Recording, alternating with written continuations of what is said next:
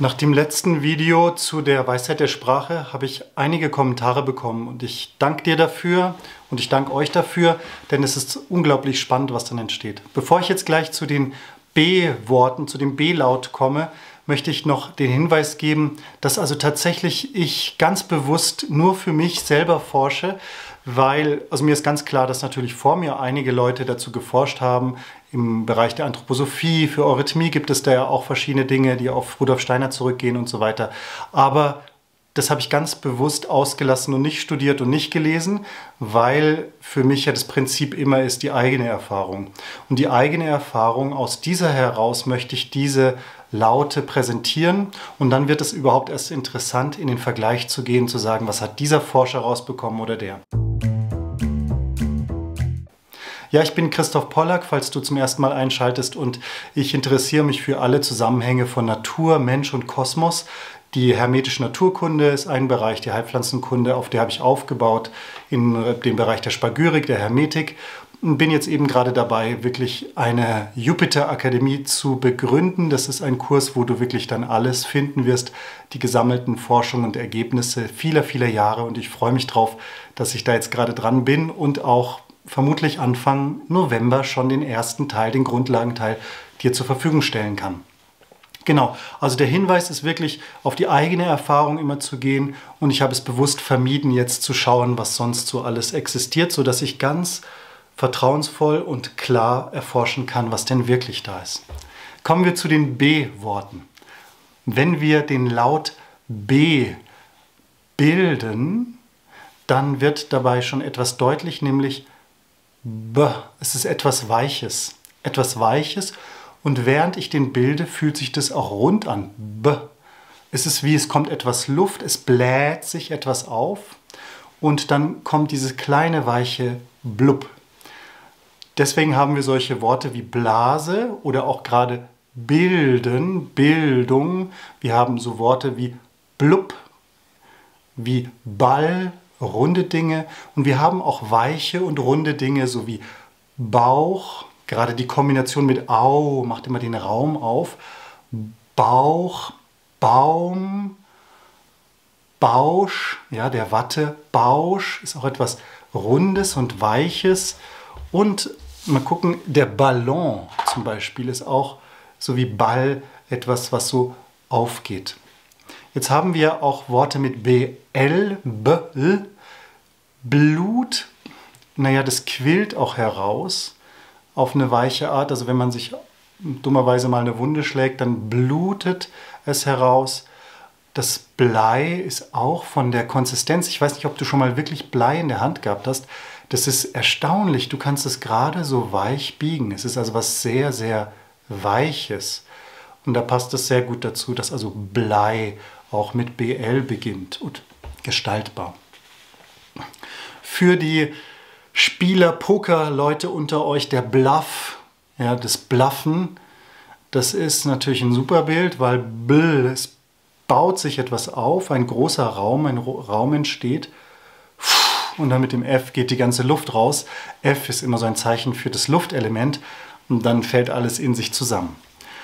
Das sind so ein paar Dinge. Baum, Bauch, Bauen auch, der Bau, etwas, was also entsteht mit großem Raum.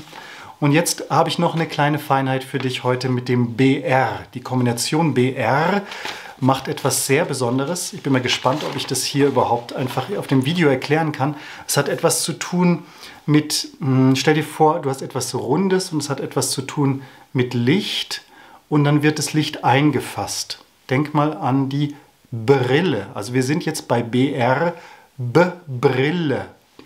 Gleiches Bild für die Brust. Da haben wir hier dieses Bild, ja, die zwei Busen wie bei der Brille und dann haben wir den Arm, die beiden Arme, die herauskommen. Da hast du dasselbe Bild wie bei der Brille. Die Brust. Da stecken so Wörter drin wie bras, französisch ist es für Arm, bras, aber auch englisch brother, Bruder. Komm in meine Arme, Arme, komm in meine Arme, du Bruder, viens dans mes bras, sagen die Franzosen, ja. Dann haben wir aber auch hier für die Brust das Brünftige, Feurige, also auch da haben wir wieder Feuer und Licht. ähm, Seelisches von dem Hirsch, der in den Brunft kommt und dann ja, da richtig so röhrt. Dann haben wir aber auch die Feuersbrunst. Die Brunst ist auch wieder sehr feurig und mit Wärme gebunden. Und die Brut, natürlich die Brut, das Brüten, auch da haben wir die Wärme, die aber immer gefasst ist. Ist bei der Feuersbrunst ganz wichtig, dass diese Wärme eingefasst ist. Also wir haben Feuer, das eingefasst ist. Auch bei der Brille ist es ja das Licht, das eingefasst ist. Spannend, wenn wir dann zu den Begriffen brillant kommen, weil bei dem brillant wird ja auch wieder der glänzende, das Lichte, der Diamant eingefasst. Da haben wir also wieder dieses Bild wie bei der Brille. Jetzt gibt es nochmal andere Bilder, die scheinbar nicht dazu passen, nämlich der Bronn oder der Brunnen. Aber auch da haben wir die Einfassung und wir haben in der Mitte etwas Glasklares wie bei der Brille. Wir haben etwas, wo auch das Licht und die Sonne sich spiegeln kann. Also du siehst schon, wie hochinteressant diese Bilder sind. Der Brief, naja, da ist ja auch eine lichte Botschaft vielleicht drin. Ich weiß es nicht, ob das zu weit ist. Also der Brillant, auch wird dir das Licht eingefasst.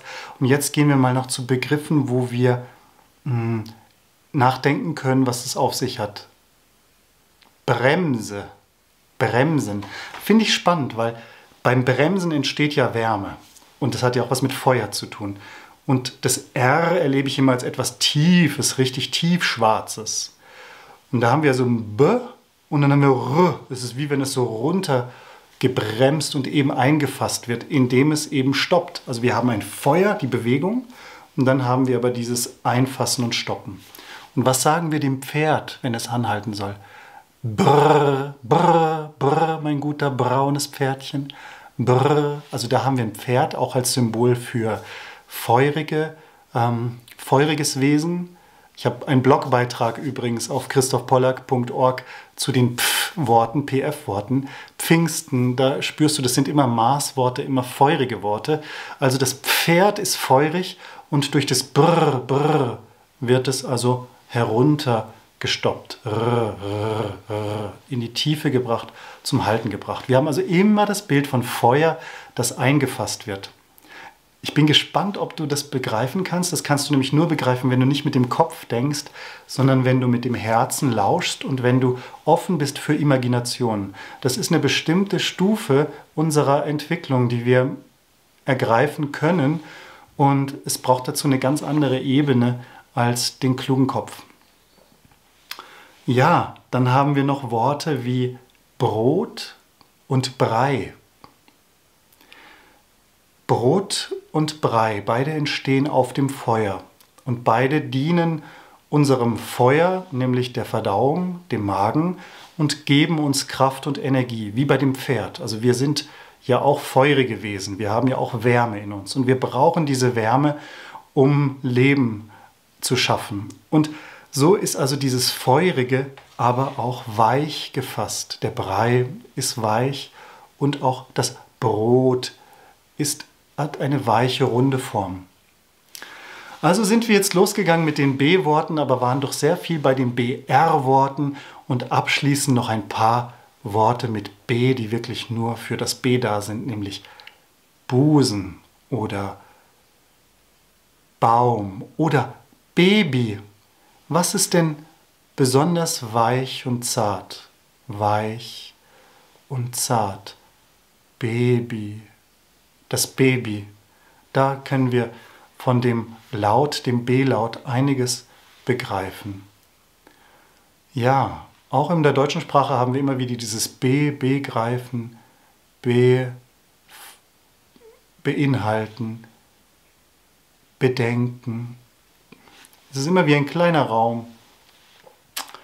Ich denke, dass es ganz interessant sein kann, wenn du da nochmal dir Zeit nimmst, vielleicht zu hören, zu nachzudenken, dir eine Liste zu machen, schreib gerne deine B-Worte oder BR-Worte auch in die Kommentare. Stell mir auch gerne deine Fragen. Ich antworte gerne auf die Kommentare. Im Moment habe ich die Verfügbarkeit noch dazu und freu dich mit mir auf die Jupiter Akademie, wo es wirklich um Hermetik, Spagyrik geht. Ich erkläre die Grundlagen in einem Grundlagenkurs, der praktisch in vier Modulen, in vier separaten Kursen die Grundlagen dir zeigt über ein und alles, über die drei Prinzipien, über die fünf Elemente und über die sieben Planetenkräfte. Du weißt, ich habe einen Kurs, Meisterkurs Planetenkräfte. Dieser eine Kurs, Meisterkurs Planetenkräfte, ist nur ein Teil von diesen vier ähm, Modulen der Grundlagen der Jupiter Akademie. Also das heißt, das ist wirklich die Basis, die Grundlagen und dann kommt später dann der Praxis, das Praxisdach darauf, sodass du also in der Jupiter Akademie alles lernen kannst über die Theorie und Praxis der Spagyrik und der Hermetik und der Alchemie, je nachdem, welche Begriffe du bevorzugst. Und ich freue mich da unglaublich drauf und ich danke dir für deine Aufmerksamkeit. Ich wünsche dir viel Gutes für deine weiteren Forschungen in der Natur, in der Sprache. Und falls du es noch nicht getan hast und wirklich Interesse hast, dann solltest du dich jetzt eintragen unten in meinen Newsletter über den kostenlosen Grundlagenkurs Genau den Link zeige ich nochmal hier. Und dann wirst du bald weitere Videos zu der Weisheit der Sprache auch von mir erleben. Und äh, in nächster Zeit kommen noch äh, ein paar freie, ähm, freie Kurse, wo ich einfach dich einlade, vielleicht auf YouTube auch live mit dabei zu sein, über Hermetik ein paar kostenlose Vorträge, die ich hier bringen werde, wo du eben auch live mit dabei sein kannst. Auf bald, dein Christoph.